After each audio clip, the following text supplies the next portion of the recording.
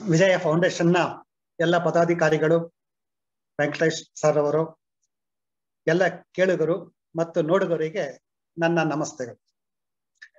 ಬಹುಶಃ ತಮಗೆಲ್ಲರಿಗೂ ಅನಿಸಿರಬಹುದು, ಈ ವಿಷಯವನ್ನ ಹೇಗೆ ನಾನು ಟ್ಯಾಗ್ ಮಾಡ್ತಾ ಇದ್ದೇನೆ ಎನ್ನುವಂಥದ್ದು. ಭಾರತ ಜಿ ಇಪ್ಪತ್ತು ರಾಷ್ಟ್ರಗಳ ನಾಯಕ. ಜಿ ಇಪ್ಪತ್ತು ಜಿ ಟ್ವೆಂಟಿ ಅಂದ್ರೆ, ಇಪ್ಪತ್ತು ರಾಷ್ಟ್ರಗಳ ಒಂದು ಗುಂಪು. ಇದರ ನಾಯಕತ್ವವನ್ನ ಭಾರತ ವಹಿಸಿಕೊಂಡಿದೆ. ಇದರ ಅಧ್ಯಕ್ಷ ಸ್ಥಾನ ಭಾರತಕ್ಕೆ ಸಿಕ್ಕಿದೆ. ಇದರ ಜೊತೆಯಲ್ಲಿ ನಾನು ಟ್ಯಾಲಿ ಮಾಡೋದಕ್ಕೆ ಹೊರಟಿರುವಂತಹದ್ದು, ಈ ಇಪ್ಪತ್ತು ರಾಷ್ಟ್ರಗಳ ನಾಯಕನಾಗಿರುವಂತಹ ಭಾರತ ಆಧ್ಯಾತ್ಮಿಕವಾಗಿಯೂ ಕೂಡ ಗುರು ಆಗೋದಕ್ಕೆ ಸಾಧ್ಯವೇ ಎನ್ನುವುದನ್ನ ನಿಮ್ಮ ಮುಂದೆ ವಿಮರ್ಶೆ ಮಾಡಿ ನಿಮ್ಮೊಟ್ಟಿಗೆ ಚರ್ಚೆ ಮಾಡೋದಕ್ಕೆ ಇಷ್ಟಪಡ್ತೇನೆ. ಹಾಗಾಗಿ India G twenty leader and spiritual master ಎನ್ನುವ ವಿಷಯವನ್ನ ಆಯ್ಕೆ ಮಾಡ್ಕೊಂಡಿದ್ದೇನೆ ಈ ವಿಷಯವನ್ನ ಆಯ್ಕೆ ಮಾಡ್ಕೊಳ್ಳೋದಕ್ಕೆ ಮುಖ್ಯ ಕಾರಣ ಏನು ಅಂತ ಹೇಳಿದ್ರೆ, ಬಹಳ ವರ್ಷಗಳಿಂದಲೂ ಕೂಡ ನಾನು ಎಲ್ಲ ಪತ್ರಿಕೆಗಳಲ್ಲಿ ಮತ್ತು ಎಲ್ಲ ಕಡೆಯೂ ಕೂಡ ಒಂದು ಪದವನ್ನ ಕೇಳ್ತಾ ಇದ್ದೆ. ಭಾರತ ವಿಶ್ವಗುರು ಎನ್ನುವಂಥದ್ದು. ನನಗೆ ಹೌದಲ್ವೇ ಅನ್ನಿಸ್ತು.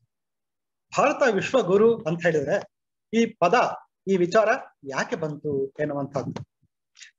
ಎರಡ್ ಸಾವಿರದ ಇಪ್ಪತ್ತರಲ್ಲಿ ನಾವು ಎನ್ ಇ ಪಿ, ರಾಷ್ಟ್ರೀಯ ಶಿಕ್ಷಣ ನೀತಿಯನ್ನ ರೂಪಿಸಿದ್ದೇವೆ. ಈಗಾಗಲೇ ಅದು ಜಾರಿಗೆ ಬಂದಿದೆ. ಈ ರಾಷ್ಟ್ರೀಯ ಶಿಕ್ಷಣ ನೀತಿಯ ಪ್ರಕಾರ ಭಾರತವು ಮುಖ್ಯವಾಗಿ ಜ್ಞಾನದಲ್ಲಿ ಮತ್ತು ಶಿಕ್ಷಣದಲ್ಲಿ ವಿಶ್ವಕ್ಕೆ ಗುರುವಾಗುವ ಎಲ್ಲ ಲಕ್ಷಣಗಳು ಕೂಡ ಬಂದಿದೆ. ಪ್ರಾಚೀನ ಕಾಲದಿಂದಲೂ ಕೂಡ ಹಲವಾರು ಕಡೆಗಳಿಂದ, ವಿವಿಧ ಭಾಗಗಳಿಂದ, ಜಗತ್ತಿನ ಹಲವು ಕಡೆಗಳಿಂದ ವಿದ್ಯಾದ, ವಿದ್ಯವನ್ನು ಆಶಿಸಿ ವಿದ್ಯಾರ್ಜನೆಗೆ ಭಾರತಕ್ಕೆ ಬರುವಂತಹ ಒಂದು ಇತಿಹಾಸವನ್ನ ತಾವೆಲ್ಲ ನೋಡಿದ್ದೀರಿ, ಕೇಳಿದ್ದೀರಿ. ಈಗಲೂ ಕೂಡ ವಿದೇಶಗಳಿಂದ ಬರುತ್ತಿರುವಂತಹ ಭಾರತೀಯ ವಿದ್ಯಾರ್ಥಿಗಳು ಭಾರತಕ್ಕೆ ಜ್ಞಾನಾರ್ಜನೆಗೋಸ್ಕರವಾಗಿ ಬರುತ್ತಿದ್ದಾರೆ. ಅಂತಹ ವಿಶಿಷ್ಟತೆ ಭಾರತದಲ್ಲಿ ಏನಿದೆ? ತಂತ್ರಜ್ಞಾನದ ಔನ್ನತ್ಯವೇ ಅಥವಾ ಹಣಕಾಸಿನ ಸೌಲಭ್ಯಕ್ಕೆ ಸಂಬಂಧಪಟ್ಟಂತೆ ಅತ್ಯುತ್ತಮವಾಗಿ ಕಡಿಮೆ ವೆಚ್ಚದಲ್ಲಿ ಭಾರತದಲ್ಲಿ ಜ್ಞಾನವನ್ನ ಪಡೆಯಬಹುದು ಎನ್ನುವುದೇ. ಅಥವಾ ಅತ್ಯಂತ ಹಿರಿದಾದಂತಹ ಹಿನ್ನೆಲೆಯನ್ನ ಹೊಂದಿರುವಂತಹ ಸಾಂಸ್ಕೃತಿಕವಾಗಿ ಪರಿಪೂರವಾದಂತಹ ಭಾರತದ ಹಿನ್ನೆಲೆಯಲ್ಲಿ ಅಧ್ಯಯನ ಮಾಡುವುದರಿಂದ ಅನುಕೂಲಗಳು ಏನು ಎನ್ನುವುದನ್ನು ತಿಳಿದುಕೊಂಡು ವಿದೇಶಗಳಿಂದ ವಿದ್ಯಾರ್ಥಿಗಳು ಬರ್ತಾ ಇದ್ದಾರೆಯೇ ಹಿಂದಿನಿಂದಲೂ ಕೂಡ, ಇಂದಿನವರೆಗೂ ಕೂಡ ಭಾರತಕ್ಕೆ ಬರುತ್ತಿರುವಂತಹ ವಿದೇಶಿ ವಿದ್ಯಾರ್ಥಿಗಳ ಸಂಖ್ಯೆಯನ್ನು ಗಮನಿಸಿದರೆ ಈ ಕೋವಿಡ್ ಪೀರಿಯಡ್ ಅನ್ನ ಬಿಟ್ರೆ ಉಳಿದ ಸಂದರ್ಭದಲ್ಲಿ ಅವರ ಸಂಖ್ಯೆ ಹೆಚ್ಚಾಗುತ್ತಿರುವಂತಹದ್ದು ನಿಜ. ಹೀಗಾಗಿ ಜ್ಞಾನಾರ್ಜನೆಗೋಸ್ಕರವಾಗಿ ಭಾರತಕ್ಕೆ ಬರುತ್ತಿರುವಂತಹ ಎಲ್ಲರನ್ನೂ ಕೂಡ ಗಮನದಲ್ಲಿಟ್ಟುಕೊಂಡು ಭಾರತ ವಿಶ್ವಗುರು ಆಗಬಹುದು ಎನ್ನುವಂತಹ ದೃಷ್ಟಿ ಎಲ್ಲರಲ್ಲೂ ಕೂಡ ಇತ್ತು ಎನ್ನುವಂಥದ್ದು ಒಂದು ಅಂಶ. ಎರಡೇ ಅಂಶ ನಾನು ಈ ವಿಷಯವನ್ನು ಯಾಕೆ ಆಯ್ಕೆ ಮಾಡ್ಕೊಂಡೆ ಅಂತ ಹೇಳಿದ್ರೆ, ನಾನು ಒಬ್ಬ ಅರ್ಥಶಾಸ್ತ್ರಜ್ಞ. ಮಹಾನ್ ಅರ್ಥಶಾಸ್ತ್ರಜ್ಞ, ಭಾರತದ ನೊಬೆಲ್ ಪ್ರಶಸ್ತಿ ಪ್ರಶಸ್ತಿ ಪಡೆದಂತಹ ಅರ್ಥಶಾಸ್ತ್ರದ ವಿಜ್ಞಾನಿ ಅಮಾತ್ಯ ಸೇನ್ ಅವರನ್ನ ನಾನು ಚೆನ್ನಾಗಿ ಓದ್ಕೊಂಡಿದ್ದೇನೆ. ಅಮಾತ್ಯ ಸೇನ್ ರವರು ಒಂದು ಬಹಳ ಅತ್ಯುತ್ತಮವಾದಂತಹ ಪುಸ್ತಕವನ್ನ ಬರೆದಿದ್ದಾರೆ. ಸಾಧ್ಯವಾದರೆ ತಾವೆಲ್ಲರೂ ಕೂಡ ಒಂದ್ಸರಿ ಅದನ್ನ ಓದಿ. ಅಮಾತ್ಯ ಸೇನ್ ರವರ ಪುಸ್ತಕದ ಹೆಸರು ಆರ್ಗ್ಯುಮೆಂಟೇಟಿವ್ ಇಂಡಿಯನ್ ಎನ್ನುವಂಥದ್ದು. ಆರ್ಗ್ಯುಮೆಂಟೇಟಿವ್ ಇಂಡಿಯನ್ ಅಂತ ಹೇಳಿದ್ರೆ ಭಾರತದಲ್ಲಿ ಪ್ರಜಾಪ್ರಭುತ್ವ ಪ್ರಾಚೀನ ಕಾಲದಿಂದಲೂ ಇವತ್ತಿನವರೆಗೆ ಹೇಗೆ ನಡೆದುಕೊಂಡು ಬಂದಿದೆ ಎನ್ನುವಂಥದ್ದು. ಭಾರತದ ಉಸಿರು ಪ್ರಜಾಪ್ರಭುತ್ವ. ಭಾರತ ನಿಂತಿರುವಂಥದ್ದು ನಮ್ಮ ನಿಮ್ಮೆಲ್ಲ ಅಭಿಪ್ರಾಯಗಳನ್ನ ಒಳಗೊಂಡಂತೆ ನಮ್ಮನ್ನು ನಾವೇ ಆಡಳಿತ ಮಾಡಿಕೊಳ್ಳುತ್ತಿರುವಂತಹ ಡೆಮೋಕ್ರಸಿ. ಜಗತ್ತಿನಲ್ಲಿ ಅತ್ಯಂತ ಹೆಚ್ಚು ಪ್ರಾಮುಖ್ಯತೆಯನ್ನು ಪಡೆದಿರುವಂತಹದ್ದು ಡೆಮೋಕ್ರಸಿ, ಪ್ರಜಾಪ್ರಭುತ್ವ. ಭಾರತದ ಪ್ರಜಾಪ್ರಭುತ್ವ ಇದನ್ನು ನಾವು ಪೊಲಿಟಿಕಲ್ ಡೆಮೋಕ್ರಸಿ ಅಂತ ಕರೀತೇವೆ. ಇದು ನಿಜವಾಗಿಯೂ ಕೂಡ ಇದು ಆಧ್ಯಾತ್ಮಿಕವಾಗಿ ಬಂದಿರುವಂತಹ ಪ್ರಜಾಪ್ರಭುತ್ವವೇ ಆಧ್ಯಾತ್ಮಿಕವಾಗಿ ಕಾಲಾನಂತರದಲ್ಲಿ ಬೆಳವಣಿಗೆಯಾದಂತಹ, ಆಧ್ಯಾತ್ಮಿಕವಾಗಿ ಎಲ್ಲವನ್ನು ಒಳಗೊಳ್ಳುವಂತಹ, ವ್ಯವಸ್ಥೆಯಲ್ಲಿರುವಂತಹ ಸಾಂಸ್ಕೃತಿಕ ಹಿನ್ನೆಲೆಯ ಒಂದು ಪ್ರಜಾಪ್ರಭುತ್ವವೇ. ಹಾಗಾಗಿ ನಮ್ಮ ಅಮಾತ್ಯ ಸೇನ್ ಅವರು ತಮ್ಮ ಈ ಒಂದು ಆರ್ಗ್ಯುಮೆಂಟೇಟಿವ್ ಇಂಡಿಯನ್ ಎನ್ನುವಂತಹ ಪುಸ್ತಕದಲ್ಲಿ ಹಿಂದಿನಿಂದ ಇಂದಿನವರೆಗೆ ಹೇಗೆ ಈ ಡೆಮೋಕ್ರಸಿ ನಡೆದುಕೊಂಡು ಬಂದಿದೆ ಹೇಗೆ ಚರ್ಚೆಯ ಮೂಲಕವಾಗಿ ನಾವು ಅಭಿವೃದ್ಧಿ ಆಗ್ತಾ ಇದ್ದೇವೆ? ಹೇಗೆ ಪರಸ್ಪರ ವಿಚಾರ ವಿನಿಮಯಗಳ ಮೂಲಕವಾಗಿ ನಮ್ಮನ್ನು ನಾವೇ ಮೇಲಿನ ಸ್ಥಳಕ್ಕೆ ತೆಗೆದುಕೊಂಡು ಹೋಗುತ್ತಿದ್ದೇವೆ ಎನ್ನುವುದನ್ನು ಬಹಳ ಮಾರ್ಮಿಕವಾಗಿ, ಅತ್ಯಂತ ಉತ್ತಮವಾಗಿ ತಮ್ಮ ಪುಸ್ತಕದಲ್ಲಿ ಅವರು ವಿವರಿಸಿದ್ದಾರೆ. ಇದರ ಜೊತೆಯಲ್ಲಿ ನನಗೆ ಬಹಳ ಸಂತೋಷವಾದಂತಹ ವಿಷಯ ಏನಂತ ಹೇಳಿದ್ರೆ, ಬಹಳ ಅಪರೂಪವಾಗಿ ಸಿಗುವಂತಹ, ಭಾರತಕ್ಕೆ ಸಿಕ್ಕಿರುವಂತಹ ಅಧ್ಯಕ್ಷತೆ ಯಾವುದಕ್ಕೆ ಅಂತ ಹೇಳಿದ್ರೆ G twenty group of twenty countries ಈ ರಾಷ್ಟ್ರಗಳ ಒಂದು ಗುಂಪಿಗೆ ಭಾರತಕ್ಕೆ ಔನ್ನತ್ಯವಾದಂತಹ ಅಧ್ಯಕ್ಷದ ಸ್ಥಾನ ದೊರಕಿದೆ. ಅದು ಇಪ್ಪತ್ತೆರಡು ನವೆಂಬರ್ನಿಂದ ನೆಕ್ಸ್ಟ್ ಎರಡ್ ಸಾವಿರದ ಇಪ್ಪತ್ತ್ ಮೂರು ನವೆಂಬರ್ ವರೆಗೆ ಈ ಅಧ್ಯಕ್ಷತೆಯನ್ನ ಭಾರತ ಹೊಂದಿರುತ್ತೆ. ಹಾಗಾಗಿ ಈ ಇಪ್ಪತ್ತು ರಾಷ್ಟ್ರಗಳನ್ನ ಒಳಗೊಂಡಂತೆ ಹಲವಾರು ಕಾರ್ಯಕ್ರಮಗಳು ಇಡೀ ಜಗತ್ತಿಗೆ ಅನ್ವಯವಾಗುವಂತೆ ರೂಪಿತಗೊಳ್ಳುತ್ತಾ ಹೋಗುತ್ತವೆ. ಈ ಜಿ ಟ್ವೆಂಟಿ ಎನ್ನುವಂತಹ ಇಪ್ಪತ್ತು ರಾಷ್ಟ್ರಗಳು ಬಹಳ ಮುಖ್ಯವಾಗಿ ಯಾವುವು ಅಂತ ತಾವು ಗಮನಿಸಿದ್ರೆ, ತಾವು ನೋಡ್ಬೇಕು ಯಾವುದು ಅಂದ್ರೆ ಅರ್ಜೆಂಟೈನಾ. ಪ್ರಗತಿಯ ಹಂತದಲ್ಲಿ ಹೆಚ್ಚು ಪ್ರಗತಿಯಲ್ಲಿರುವಂತಹ ಅರ್ಜೆಂಟೈನಾ ಮತ್ತು ಆಸ್ಟ್ರೇಲಿಯಾ. ಈ ರಾಷ್ಟ್ರವು ಕೂಡ ಆರ್ಥಿಕವಾಗಿ ವೇಗವಾಗಿ ಮುನ್ನಡೆಯುತ್ತಾ ಇದೆ. ಬ್ರೆಜಿಲ್ ಸ್ವಲ್ಪ ತೊಂದರೆಗಳಿದ್ದರೂ ಕೂಡ ಅದು ವೇಗವಾಗಿ ಮುನ್ನಡೆಯುತ್ತಿರುವಂತಹ ರಾಷ್ಟ್ರ. ಕೆನಡಾ ವೈಜ್ಞಾನಿಕವಾಗಿ, ರಾಜಕೀಯವಾಗಿ ಆರ್ಥಿಕವಾಗಿ ಮುಂದುವರಿಯುತ್ತಿರುವಂತಹ ರಾಷ್ಟ್ರ, ನಾಲ್ಕನೆಯದು ಕೆನಡಾ. ಅದೇ ರೀತಿ ಮತ್ತೊಂದು ಆಶ್ಚರ್ಯ ಆಗ್ಬೋದು. ಈ ಇಪ್ಪತ್ತು ಗುಂಪಿನ ರಾಷ್ಟ್ರಗಳ ನಾಯಕತ್ವದಲ್ಲಿ ನಾನು ಹೇಳ್ತಿರುವಂತಹ ಐದನೇ ರಾಷ್ಟ್ರ ಯಾವುದು ಅಂದ್ರೆ ಚೀನಾ. ಚೈನಾದ ಬಗ್ಗೆ ತಾವೆಲ್ಲರೂ ಕೂಡ ನೋಡಿದ್ದೀರಿ, ಓದಿದ್ದೀರಿ ಕೇಳಿದಿರಿ ಅದರ ಒಂದು ಕಾಲು ಕೆರೆದು ಜಗಳ ಮಾಡುವಂತಹ ಒಂದು ವಿಚಾರವೂ ಕೂಡ ತನಗೆಲ್ಲರಿಗೂ ಗೊತ್ತೇ ಇದೆ. ಬಾರ್ಡರ್ ಡಿಸ್ಪ್ಯೂಟ್ಸ್ ಅನ್ನು ಕೂಡ ನಾವು ಇಲ್ಲಿ ಕಾಣ್ತಾ ಇದ್ದೇವೆ. ಈ ಗುಂಪಿನ ರಾಷ್ಟ್ರಗಳಲ್ಲಿ ಚೀನಾ ಕೂಡ ಇರುವುದು ಒಂದು ವಿಶೇಷ.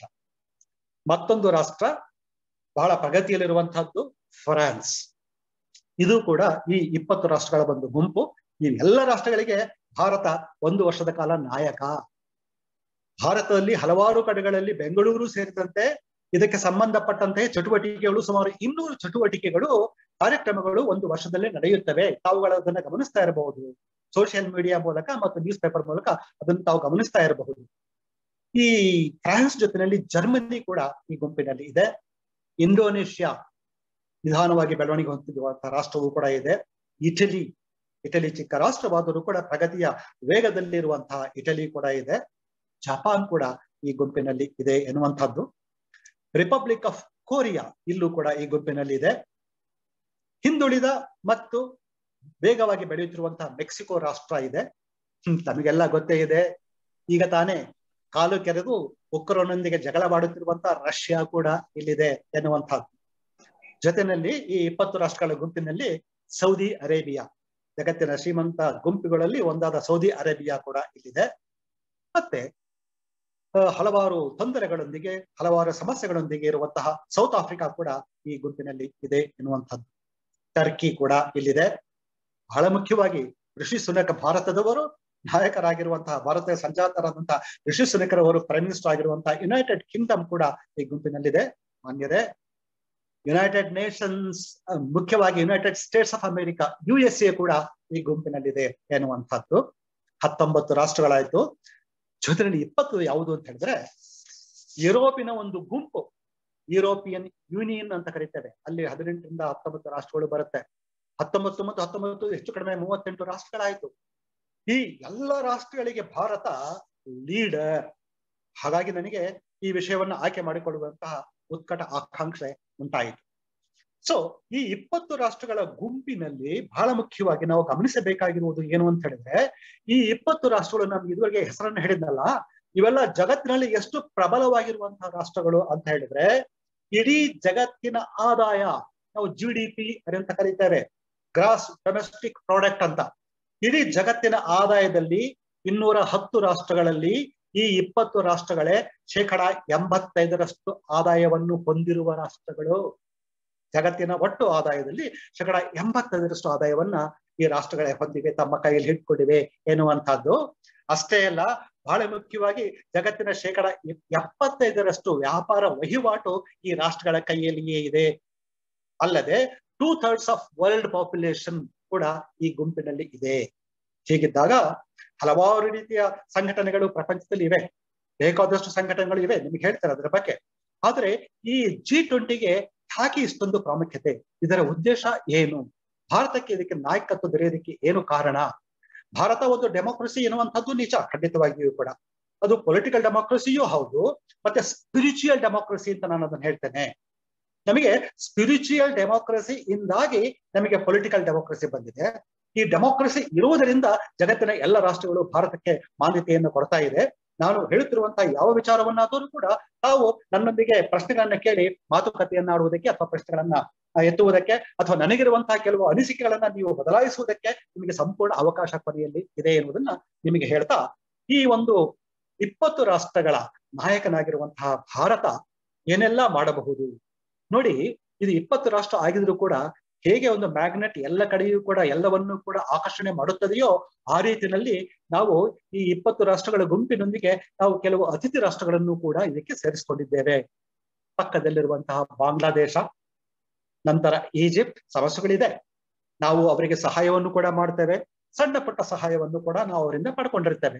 ಮಾರಿಷಿಯಸ್ ಅನ್ನುವಂತಹ ದ್ವೀಪ, ನೆದರ್ಲ್ಯಾಂಡ್ಸ್ ಪ್ರಾಕೃತಿಕವಾಗಿ ಸುಂದರವಾಗಿರುವಂತಹದ್ದು ಏಕೆಂದರೆ ಈ ವಿಷಯವನ್ನು ನಾನು ಯಾತಕ್ಕೆ ನೆದರ್ಲ್ಯಾಂಡ್ಸ್ ಬಗ್ಗೆ ಹೇಳ್ತಾ ಇದ್ದೇನೆ ಅಂತ ಹೇಳಿದ್ರೆ, ನಾವಿಲ್ಲಿ ಸ್ಪಿರಿಚುಯಲ್ ಮಾಸ್ಟರ್ ಅಂತ ಹೇಳ್ಬೇಕಾದ್ರೆ, ಆಧ್ಯಾತ್ಮಿಕವಾಗಿ ಭಾರತ ಗುರು ಅಂತ ನಾವು ಹೇಳ್ಬೇಕಾದ್ರೆ ಯಾವುದು ಆಧ್ಯಾತ್ಮಿಕತೆ ಎನ್ನುವಂತಹದ್ದು ಪ್ರಕೃತಿಯೊಂದಿಗೆ ಒಂದಾಗುವಂತಹದ್ದು be with nature respect nature ಹಾಗಿದ್ದಾಗ ಇದು ಖಂಡಿತವಾಗಿಯೂ ಕೂಡ ಎನ್ವೈರನ್ಮೆಂಟಲ್ ಸಸ್ಟೈನಬಿಲಿಟಿ ಅಂದ್ರೆ ಬಹಳ ಮುಖ್ಯವಾಗಿ ನಾವು ಹೇಳುವಂತಹ ಪರಿಸರದ ಸುಸ್ಥಿರತೆಯನ್ನ ಕಾಪಾಡಿಕೊಳ್ಳುವ ದೃಷ್ಟಿಯಲ್ಲಿ, ಭಾರತದ ಹಿನ್ನೆಲೆಯಲ್ಲಿ, ಭಾರತದ ಆಧ್ಯಾತ್ಮಿಕ ಚಿಂತನೆಗಳ ಹಿನ್ನೆಲೆಯಲ್ಲಿ, ಭಾರತದ ಪ್ರಗತಿಯನ್ನು ಗಮನಿಸುತ್ತಾ ಹೋದಾಗ ಈ ನಾವು ಅತಿಥಿ ರಾಷ್ಟ್ರಗಳಾದಂತಹ ನೆದರ್ಲ್ಯಾಂಡ್ಸ್ ಅನ್ನು ತೆಗೆದುಕೊಂಡಿದ್ದೇವೆ ಆದರೆ ದೂರದಲ್ಲಿರುವಂತಹ ನೈಜೀರಿಯಾ ಕೂಡ ನಮ್ಮ ಈ ಗುಂಪಿಗೆ ಅತಿಥಿ. ಒಮಾನ್ ಶ್ರೀಮಂತ ರಾಷ್ಟ್ರ, ಅದು ಕೂಡ ಇದು ಅತಿಥಿ. ಜಗತ್ತಿನ ವೇಗವಾಗಿ ಆಧುನಿಕತೆಯನ್ನು ಒಳಗೊಂಡಿರುವಂತಹ ಸಿಂಗಪೂರ್ ಕೂಡ ಅತಿಥಿ ರಾಷ್ಟ್ರ ಇದಕ್ಕೆ. ಸ್ಪೈನ್ ಕೂಡ ಇಲ್ಲಿದೆ. ಯುನೈಟೆಡ್ ಅರಬ್ ಎಮಿರೇಟ್ಸ್ ಇವು ಕೂಡ ಈ ಗುಂಪಿನಲ್ಲಿ ಇದೆ ಎನ್ನುವಂಥದ್ದು. ನೋಡಿ, ಹೇಗೆ ಈ ಜಿ ಇಪ್ಪತ್ತು ಎನ್ನುವಂತಹ ಬಲಶಾಲಿಯಾದಂತಹ ಒಂದು ರಾಷ್ಟ್ರಗಳ ಚಿಂತನೆಯ ಆರ್ಥಿಕ ಅಭಿವೃದ್ಧಿಯ ಗುಂಪು ಹೇಗೆ ಎಲ್ಲವನ್ನೂ ಕೂಡ ಒಳಗೊಂಡಿದೆ ಎನ್ನುವಂಥದ್ದು. ಇದರ ನಾಯಕ ಭಾರತ. ಇದರ ನಾಯಕತ್ವ ಭಾರತಕ್ಕೆ ಇರುವಂತಹದ್ದು ನಿಜ. ಅದರ ಜೊತೆಯಲ್ಲಿಯೇ ಭಾರತವು ಆಧ್ಯಾತ್ಮಿಕವಾಗಿಯೂ ಕೂಡ ಗುರು ಆಗುವುದಕ್ಕೆ ಸಾಧ್ಯ ಎನ್ನುವಂತ ವಿಷಯವನ್ನ ನಿಮ್ಮ ಮುಂದೆ ಇಡೋದಕ್ಕೆ ನಾನು ಇಲ್ಲಿ ಪ್ರಯತ್ನ ಪಡ್ತಾ ಇದ್ದೇನೆ ಎನ್ನುವಂಥದ್ದು. ಏಕೆಂದರೆ ಆರ್ಥಿಕ ಪ್ರಗತಿಯೊಂದೇ ಮನುಷ್ಯನ ಮೂಲಭೂತ ಗುರಿಯಲ್ಲ. ಅವನು ಬಹಳ ಮುಖ್ಯವಾಗಿ ಅಚೀವ್ ಮಾಡಬೇಕಾಗಿರುವುದು, ಸಾಧನೆ ಮಾಡಬೇಕಾಗಿರುವುದು ಏನು ಅಂತ ಹೇಳಿದ್ರೆ ಆರ್ಥಿಕವಾಗಿಯೂ ಮುಂದುವರೆದಿರಬೇಕು, ಲೌಕಿಕವಾಗಿಯೂ ಇರಬೇಕು ಲೌಕಿಕವಾಗಿಯೂ ಕೂಡ ಇರಬೇಕು, ಆಧ್ಯಾತ್ಮಿಕವಾಗಿಯೂ ಕೂಡ ಇರಬೇಕು. ನಿಮಗೆ ಸಿಗುವಂತಹದ್ದು ಮೆಟೀರಿಯಲಿಸ್ಟಿಕ್ ಹ್ಯಾಪಿನೆಸ್ಗಿಂತ ನಿಮಗೆ ಬೇಕಾಗಿರುವಂತಹದ್ದು ಸ್ಪಿರಿಚುಯಲ್ ಹ್ಯಾಪಿನೆಸ್ ಹೇಗೆ ಪಡೆಯಬಹುದು ಎನ್ನುವಂತಹದ್ದು ವಿದೇಶಗಳಲ್ಲಿ ಈಗಾಗಲೇ ಮೆಟೀರಿಯಲಿಸ್ಟಿಕ್ ಹ್ಯಾಪಿನೆಸ್ ಆಗಿ ಅದರ ನಂತರ ಅವರು ತಮ್ಮ ಮನಃಶಾಂತಿಗೋಸ್ಕರವಾಗಿ ಸ್ಪಿರಿಚುಯಲಿಸಂಗೆ ಹೋಗ್ತಾ ಇದ್ದಾರೆ. ಈ ಎಲ್ಲ ಜಗತ್ತಿನ ರಾಷ್ಟ್ರಗಳಿಗೆ ಭಾರತ ಆಧ್ಯಾತ್ಮಿಕವಾಗಿ ಏನನ್ನಾದರೂ ಕೊಡಬಹುದೇ? ಇದು ವಿಶ್ವಗುರು ಆಗಬಹುದೇ? ಮತ್ತು ಈ ಜಿ ಟ್ವೆಂಟಿಯ ಗುಂಪಿನ ರಾಷ್ಟ್ರಗಳು ಗುರು ಆಗಿರುವಂತೆಯೇ ಆಧ್ಯಾತ್ಮಿಕ ಗುರುವು ಕೂಡ ಆಗಬಹುದೇ ಎನ್ನುವುದನ್ನ ನಾವೆಲ್ಲರೂ ಕೂಡ ಸೇರಿ ಈಗ ವಿಚಾರ ಮಾಡ್ತಾ ಇದ್ದೇವೆ. ಮಾನ್ಯರೇ, ಕೇಳುಗರೆ, ನಾನು ನಿಮಗೆ ಹೇಳಿದೆ ಎಂತೆಂಥ ರಾಷ್ಟ್ರಗಳು ಈ ಜಿ ಇಪ್ಪತ್ತು ಗುಂಪಿನ ಒಂದು ಇದರಲ್ಲಿ ಇದ್ದಾರೆ, ಪರಿಧಿಯಲ್ಲಿ ಇದ್ದಾರೆ ಎನ್ನುವುದನ್ನ ನಾನು ನಿಮಗೆ ಹೇಳಿದೆ. ಯಾರನ್ನ ಅತಿಥಿ ರಾಷ್ಟ್ರಗಳನ್ನಾಗಿ ಕೂಡ ತೆಗೆದುಕೊಂಡಿದ್ದೇವೆ ಅಂತ ಕೂಡ ಹೇಳಿದೆ. ಆದ್ರೆ ಜಗತ್ತಿನಲ್ಲಿ ಪ್ರಭಾವ ಬೀರುವಂತಹ ಕೆಲವು ಸಂಸ್ಥೆಗಳು ಇವೆ. ಆ ಸಂಸ್ಥೆಗಳಲ್ಲಿ ಜಿ ಇಪ್ಪತ್ತು ಎನ್ನುವಂಥದ್ದು ಕೂಡ ಒಂದು ಗುಂಪು, ಒಂದು ಸಂಸ್ಥೆ. ತಮಗೆಲ್ಲ ಗೊತ್ತಿರುವ ಹಾಗೆ ಜಗತ್ತಿನಲ್ಲೇ ಪ್ರಭಾವ ಬೀರುವಂತಹ ಸಂಸ್ಥೆಗಳು ಯಾವುವು ಅಂತ ಹೇಳಿದ್ರೆ ತಮಗೆಲ್ಲ ಗೊತ್ತಿರುವಂತಹ I M F International Monetary Fund ಇದು ಕೂಡ ಆಹ್ವಾನಿತ ಸದಸ್ಯ ರಾಷ್ಟ್ರಗಳು. ಈ ಸಂಘಟನೆಗೆ ಜಿ ಇಪ್ಪತ್ತಿಗೆ ಇವರನ್ನು ಕೂಡ ಆಹ್ವಾನಿಸಿದ್ದೇವೆ. I M F International Monetary Fund ಅಂತ ಒಂದು ಜಾಗತಿಕ ಮಟ್ಟದ ಹಣಕಾಸಿನ ಸಂಸ್ಥೆ. ಎರಡನೇದಾಗಿ ವರ್ಲ್ಡ್ ಬ್ಯಾಂಕ್ ಅಂತ ಕರೀತಾರೆ. ನಾವು ಐ ಬಿ ಆರ್ ಡಿ ಅಂತ ಇದನ್ನು ಕರಿತೇವೆ International Bank for Reconstruction and Development ಅಂತ. ಮಾನ್ಯರೇ, ಒಂದು ವಿಷಯವನ್ನ ನಾನು ನಿಮ್ಗೆ ಹೇಳಬೇಕು. ಏನಂತ ಹೇಳಿದ್ರೆ, ಮೈಸೂರಿನ ಒಬ್ಬರು ಮಹಿಳೆ, ಗೋಪಿನಾಥ್, ಲೇಡಿ ಗೋಪಿನಾಥ್ ಎನ್ನುವಂಥವರು ಐ ಎಂ ಎಫ್ನಲ್ಲಿ ಒಬ್ಬರು ವಿಶಿಷ್ಟ ಅಧಿಕಾರಿಯಾಗಿ ಕೆಲಸ ಮಾಡ್ತಿದ್ದಾರೆ? ನಿನ್ನೆ ತಾನೇ ಅಮೆರಿಕಾದ ಅಧ್ಯಕ್ಷರು ಹೇಳಿದ್ದಾರೆ. ಏನು ಅಂತ ಹೇಳಿದ್ರೆ, ಭಾರತ ಮೂಲದ ಒಬ್ಬ ಸಿಖ್ ವ್ಯಕ್ತಿಯನ್ನ ನಾವು ಈ ಜಗತ್ತಿನ ವರ್ಲ್ಡ್ ಬ್ಯಾಂಕ್ ಅಂತ ಏನ್ ಕರಿತೇವೆ ಅದಕ್ಕೆ ಅಧ್ಯಕ್ಷರನ್ನಾಗಿ ಮಾಡುವುದಕ್ಕೆ ಪ್ರಪೋಸಲ್ ಅನ್ನ ಕೊಟ್ಟಿದ್ದಾರೆ. ಇದೊಂದು ದೊಡ್ಡ ಬೆಳವಣಿಗೆ. ಇಡೀ ಜಗತ್ತಿನ ನೋಡಿಕೊಳ್ಳುವಂತಹ ಹಣಕಾಸಿನ ಸಂಸ್ಥೆಯಾದಂತಹ ವರ್ಲ್ಡ್ ಬ್ಯಾಂಕ್ ಜಗತ್ತಿಗೆ ಹೆಚ್ಚು ಸಹಕಾರವನ್ನು ನೀಡುವಂತಹ ವರ್ಲ್ಡ್ ಬ್ಯಾಂಕ್ಗೆ ಅಧ್ಯಕ್ಷತೆಯನ್ನು ವಹಿಸುವಂತಹದ್ದು ಭಾರತಕ್ಕೆ ಹೇಗೆ ಸಾಧ್ಯವಾಯಿತು? ಭಾರತಕ್ಕೆ ಅಂದ್ರೆ ಭಾರತದ ಜನ್ಮದ ಮತ್ತು ಅಮೆರಿಕದಲ್ಲಿ ನೆಲೆಸಿರುವಂತಹ ಒಬ್ಬ ಸಿಖ್ ವ್ಯಕ್ತಿಗೆ ಹೇಗೆ ಇದನ್ನು ಪಡೆಯುವುದಕ್ಕೆ ಸಾಧ್ಯವಾಯಿತು, ಅವರ ಮೂಲ ಬೇರುಗಳು ಭಾರತದಲ್ಲಿ ಇವೆ. ಚಿಂತನೆಗಳು ಭಾರತದ ಸಂಸ್ಕೃತಿಯನ್ನು ಒಳಗೊಂಡಿವೆ. ಚಿಂತನೆಗಳು ನಮ್ಮಲ್ಲಿರುವಂತಹ ಬಹಳ ಮುಖ್ಯವಾದಂತಹ ವಿಷಯವಾದಂತಹ ಎಲ್ಲರನ್ನೂ, ಎಲ್ಲವನ್ನೂ ಒಳಗೊಳ್ಳುವುದು ಇನ್ಕ್ಲೂಸಿವ್ನೆಸ್ ಎನ್ನುವುದನ್ನು ಕೂಡ ಒಳಗೊಂಡಿದೆ ಎನ್ನುವಂಥದ್ದು. ಹಾಗಾಗಿ ಈ ಗುಂಪಿಗೆ ಅತಿಥಿ ರಾಷ್ಟ್ರಗಳೇ ಅಲ್ಲದೆ ಇದು ಜಿ ಇಪ್ಪತ್ತು ಅಂತ ಅನಿಸ್ಕೊಂಡಿದ್ರು ಕೂಡ ಇದಕ್ಕೆ ಆಹ್ವಾನಿತ ಸದಸ್ಯ ರಾಷ್ಟ್ರ, ಸದಸ್ಯ ಸಂಸ್ಥೆಗಳು ಯಾವುದು ಅಂತ ಹೇಳಿದ್ರೆ I M F I B R D United Nations ಜಗತ್ತಿನ ಅತಿ ದೊಡ್ಡ ಒಂದು ಸಂಘಟನೆ ಯುರೋಪಿನಲ್ಲಿ ಇರುವಂತಹದ್ದು ಯುನೈಟೆಡ್ ನೇಷನ್ಸ್ ಅದರ ಜೊತೆನಲ್ಲಿ ವರ್ಲ್ಡ್ ಹೆಲ್ತ್ ಆರ್ಗನೈಸೇಷನ್ ಈಗ ತಾನೇ ನಾವು ಗಮನಿಸಿದ್ದೇವೆ, ಎರಡು ಮೂರು ವರ್ಷಗಳ ಕಾಲ ಹಿಂದೆ ಪ್ರತಿಯೊಬ್ಬರು ಕೂಡ ಕೋವಿಡ್ ನಿಂದಾಗಿ ಎಂತಹ ತೊಂದರೆಯನ್ನು ನಾವು ಅನುಭವಿಸಿದ್ವಿ ಎನ್ನುವಂತಹದ್ದು ಇದಕ್ಕೆ ಬೇಕಾಗಿರುವಂತಹದ್ದು ಏನು? ಆರೋಗ್ಯ. ಎಂತಹ ಆರೋಗ್ಯ ಬೇಕು? ಯಾತಕ್ಕೆ ಇದು ಕೋವಿಡ್ ಎನ್ನುವಂತ ಸಮಸ್ಯೆ ಇಡೀ ಜಗತ್ತನ್ನೇ ತಲ್ಲಣಗೊಳಿಸಿ ಅಲ್ಲಾಡಿಸ್ಕೋಯ್ತು? ಈ ಒಂದು, ಈ ಆರೋಗ್ಯದಂತಹ ಸಮಸ್ಯೆಗೆ ಬೇಕಾಗಿರುವಂತಹದ್ದು ಮೂಲಭೂತವಾಗಿ ಏನು ಎನ್ನುವಂಥದ್ದು? ಮಾನಸಿಕ ಶಾಂತಿ ಬೇಕು, ಜೊತೆಗೆ ಬೇಕಾಗಿರುವಂತದ್ದು ಅದಕ್ಕೆ ವ್ಯಾಕ್ಸಿನೇಷನ್ ಬೇಕಾಗಿತ್ತು. ಕೊಟ್ಟವರು ಯಾರು ಕೂಡ ಜಗತ್ತಿನ ಎಲ್ಲ ರಾಷ್ಟ್ರಗಳು ಕೊಟ್ಟರು ಕೂಡ ಭಾರತವು ಅತ್ಯಂತ ಕಡಿಮೆ ಇರದಲ್ಲಿ ಕೆಲವು ಸಾರಿ ಉಚಿತವಾಗಿ ಹಲವು ರಾಷ್ಟ್ರಗಳಿಗೆ ಈ ಒಂದು ಔಷಧಿಯನ್ನು ಕೊಡೋದಕ್ಕೆ ಸಾಧ್ಯ ಆಯಿತು. ಇದನ್ನ ಎಲ್ಲವನ್ನು ಕೋಆರ್ಡಿನೇಟ್ ಮಾಡುವಂತಹದ್ದು ಬಹಳ ಮುಖ್ಯವಾಗಿ ಯಾವುದಂದ್ರೆ ವರ್ಲ್ಡ್ ಹೆಲ್ತ್ ಆರ್ಗನೈಸೇಷನ್ ಮಾನ್ಯರೇ, ಇದು ಕೂಡ ಇದಕ್ಕೆ ಆಹ್ವಾನಿತ ಒಂದು ಸಂಸ್ಥೆ.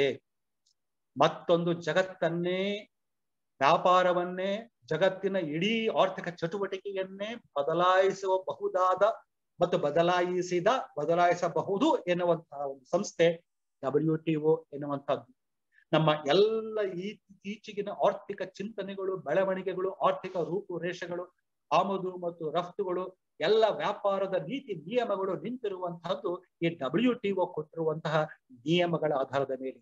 ವರ್ಲ್ಡ್ ಟ್ರೇಡ್ ಆರ್ಗನೈಸೇಷನ್ ಎನ್ನುವಂಥದ್ದು ಈ ವರ್ಲ್ಡ್ ಟ್ರೇಡ್ ಆರ್ಗನೈಸೇಷನ್ ಕೂಡ ನಮ್ಮ ಈ ಜಿ ಇಪ್ಪತ್ತು ಗುಂಪಿನ ಒಬ್ಬ ಬಹಳ ಮುಖ್ಯವಾದ ಆಹ್ವಾನಿತ ಸಂಸ್ಥೆ. ಅಂದ್ರೆ ಈ ಎಲ್ಲವಕ್ಕೂ ಕೂಡ ಭಾರತ ಲೀಡರ್ ಭಾರತ ಒಂದು ನಾಯಕತ್ವವನ್ನ ಹೊಂದಿದೆ ಎನ್ನುವಂಥದ್ದು ಮತ್ತೊಂದು ಸಂಸ್ಥೆ ಇದೆ. ಅದು ಅಷ್ಟು ಪ್ರಬಲವಾಗಿಲ್ಲ, ಪ್ರಬಲವಾಗಬೇಕಾಗಿತ್ತು. ಇಂಟರ್ನ್ಯಾಷನಲ್ ಲೇಬರ್ ಆರ್ಗನೈಸೇಷನ್ ಅದು ಕೂಡ ಆಹ್ವಾನಿತ ಸಂಸ್ಥೆ. ಎಫ್ ಎಸ್ ಬಿ ಅಂತ ಒಂದಿದೆ. ಫೈನಾನ್ಷಿಯಲ್ ಸ್ಟೆಬಿಲಿಟಿ ಬೋರ್ಡ್ ಅಂತ. ಆ ಒಂದು ಸಂಸ್ಥೆಯನ್ನು ಕೂಡ ಇದಕ್ಕೆ ಆಹ್ವಾನ ಮಾಡಲಾಗಿದೆ. ಒಇ ಸಿ ಡಿ ಅಂತ ಇದೆ. Organised for Economic and Cooperation and Development ಅಂತ ಹೇಳ್ಬಿಟ್ಟು ಅದೊಂದು ಆರ್ಗನೈಸೇಷನ್ ಇದನ್ನು ಕೂಡ ಆಹ್ವಾನಿತ ಸಂಸ್ಥೆ. ಜೊತೆನೇ ಏನಾಗಿದೆ? ಆಫ್ರಿಕಾಕ್ಕೆ ಸಂಬಂಧಪಟ್ಟಂತೆ ಆಫ್ರಿಕಾಕದ ಎ ಯು ಎನ್ನುವಂತಹ ಒಂದು ಸಂಸ್ಥೆ ಎ ಯು ಡಿ ಯು ಎನ್ನುವಂತಹ ಸಂಸ್ಥೆ, ಮತ್ತೆ ASEAN Association of South East Asian Nations ಎನ್ನುವಂತಹ ಸಂಸ್ಥೆ ಎಲ್ಲವೂ ಕೂಡ ಇದಕ್ಕೆ ಆಹ್ವಾನಿತ ರಾಷ್ಟ್ರಗಳು. ಇದು ಈ ಒಂದು ಜಿ ಇಪ್ಪತ್ತು ರಾಷ್ಟ್ರಗಳ ಬಲಾಢ್ಯತೆಯನ್ನ ಹೇಳುವಂತಹ ಕೆಲವು ವಿಚಾರಗಳು. ಇದನ್ನ ಮುನ್ನಡೆಸುವಂತಹದ್ದು ಈ ವರ್ಷ ಭಾರತಕ್ಕೆ ಬಂದಿದೆ.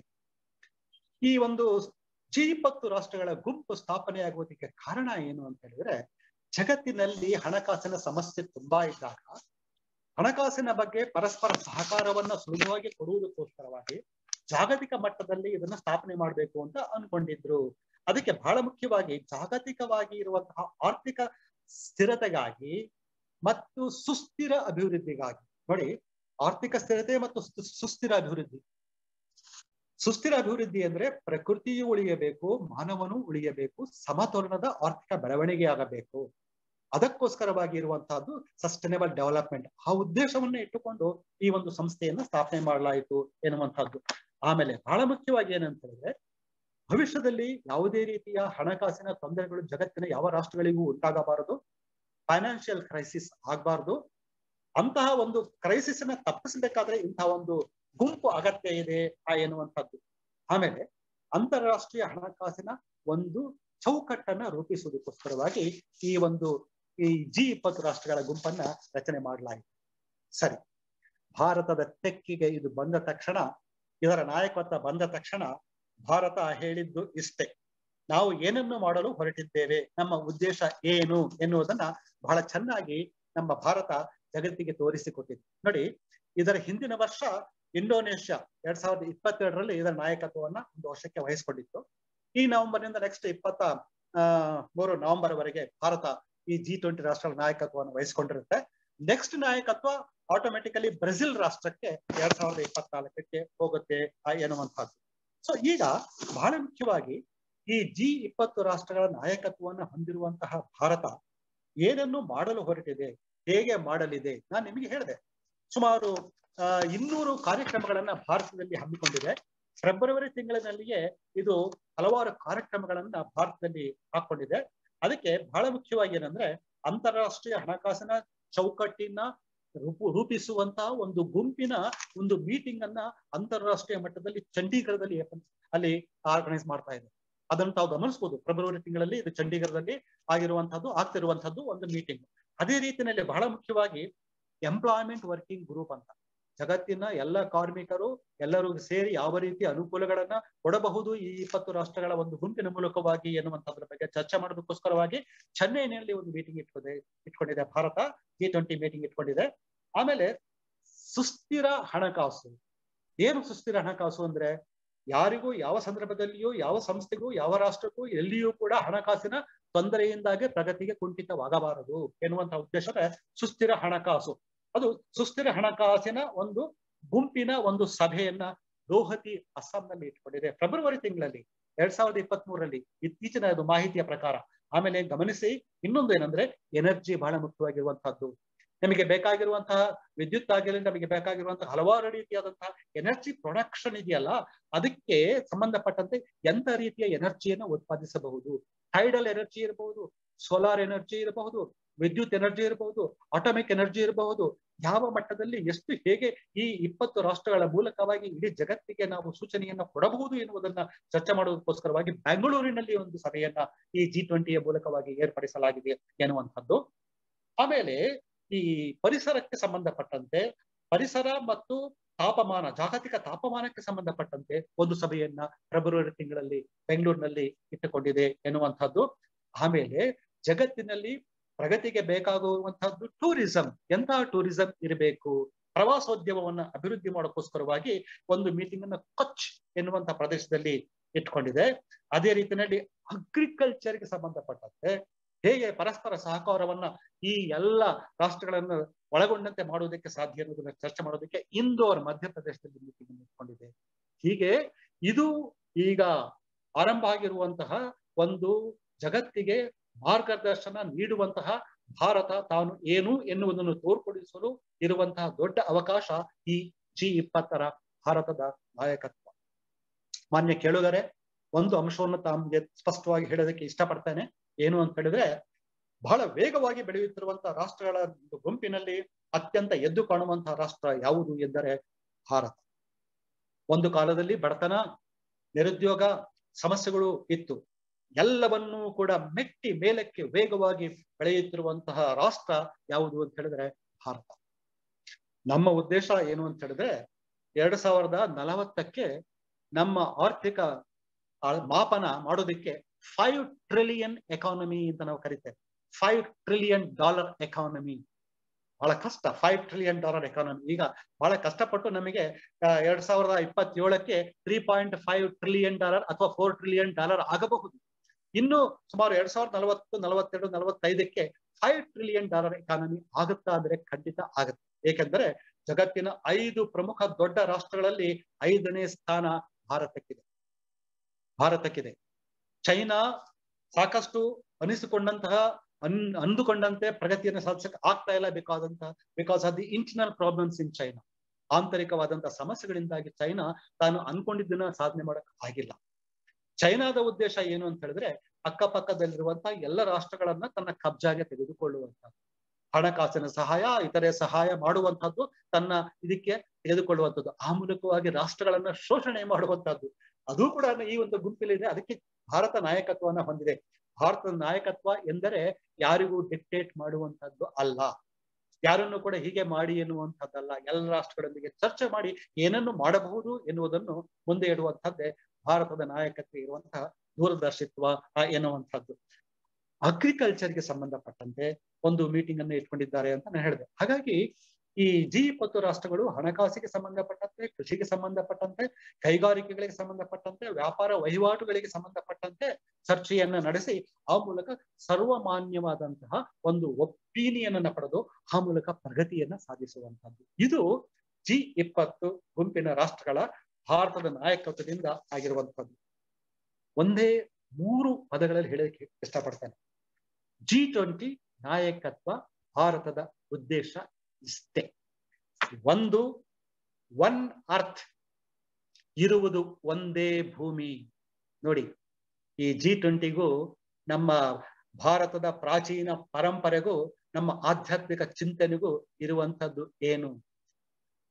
ಒಂದೇ ಭೂಮಿ.